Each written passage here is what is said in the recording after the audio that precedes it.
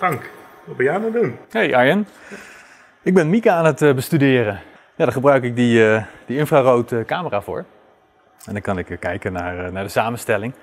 Dus dit is een mooi stuk, stuk mica.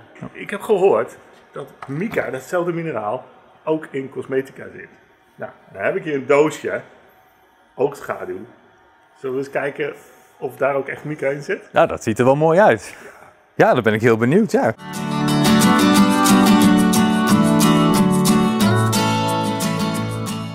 Ik zal je nou laten zien wat het uh, resultaat is. En dit is het infraroodbeeld. En dit infraroodbeeld geeft nou in verschillende kleuren uh, het soort uh, mineraal weer wat erin zit. En wat je ziet is dat het vooral oranje-rood is. De meeste make-up die hebben een oranje-rode kleur. En dat is typisch voor, voor een natuurlijke mica, muscovite. Linksboven, die twee die bevatten heel veel mica. Maar deze twee, deze twee hieronder, die, uh, daar zit weinig uh, natuurlijke mica in. Het zou kunnen zijn dat daar een andere uh, type mica in zit. Bijvoorbeeld een, een synthetische mica. Mooi resultaat. Ja, ziet er goed uit hè? Ja. Um, ik vroeg me alleen nog af, heb jij, weet jij nog een methode om te kijken hoeveel mica er nou precies in zit in dit, in dit doosje? En, en of er inderdaad synthetische mica in zit? Nou, ik heb wel een idee. Ik neem dat doosje mee naar het lab en dan ga ik daar röntgendiffractie op doen op een van die blokjes. Oké, okay, ja, dat is een goed plan.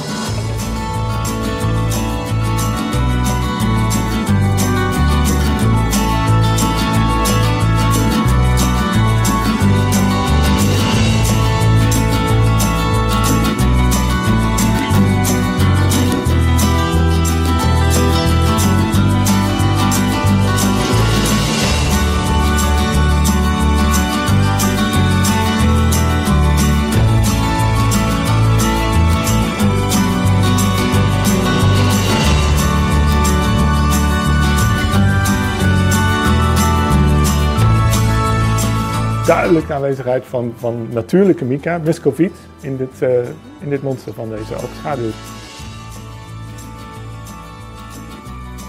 Hoe is het gedaan?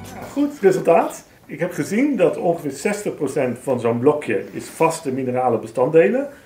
En daarvan is de helft een wat donkere mica, de helft een wat lichtere mica.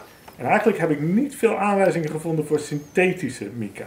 Hooguit 10% van het monster. Dus voornamelijk natuurlijke mica en een mix van lichte en donkere mica's. Oké, en uh, heb je nog eh, andere bestanddelen erin gevonden? Ja, een paar procent talk en dan nog wat organische bestanddelen, misschien deels uh, kleurstoffen. Maar, maar dat is het wel zo'n beetje. Dus het grootste deel van die minerale bestanddelen is volgens mij mica. Oké, zo en als we dan even een berekening gaan maken.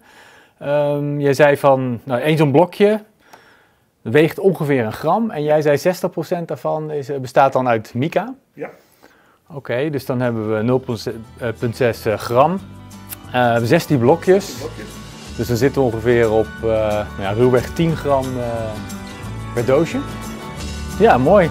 Nou, dat, dat is leuk, interessant. Mooi, mooi resultaat, toch?